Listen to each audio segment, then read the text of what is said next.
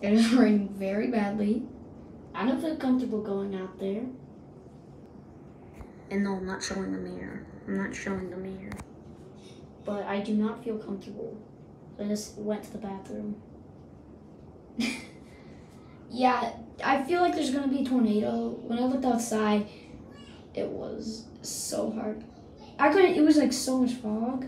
I don't know if I'm being dramatic. Oh, oh. Ow. Hmm.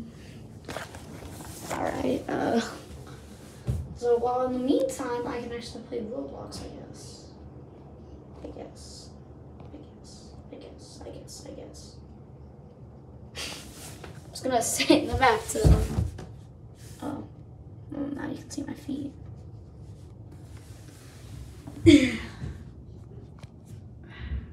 feels nice.